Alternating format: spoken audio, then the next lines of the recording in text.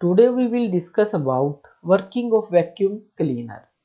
Firstly we will discuss about some points regarding vacuum cleaner.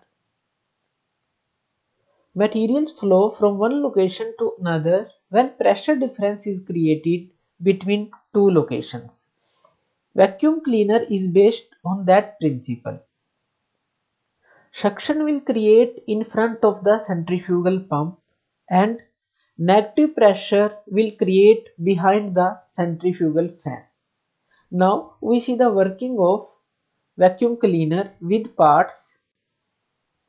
We have a vacuum cleaner chamber in which in the front of the vacuum cleaner chamber there are filter for filtering the dust particle and giving clean air to forward area. There are motor and a centrifugal fan. And a pipe is attached to the cleaning apparatus. Now we see the working of vacuum cleaner. What will happen?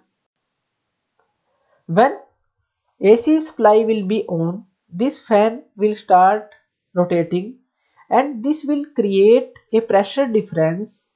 Then this pressure difference create will suck the air from this pipe and this pipe suck the air with the dust particles and these air with dust particle will reach at the filter.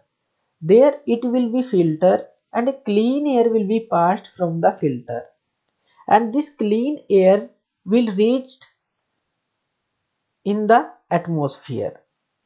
So this is the difference of pressure which will suck the air from the outside to inside in the vacuum cleaner.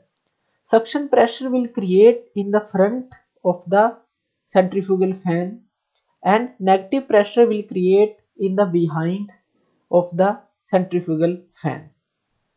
So this is the working of vacuum cleaner. Thank you for seeing this video. For more updated videos, you can subscribe me on my channel Learn and Grow. Thank you.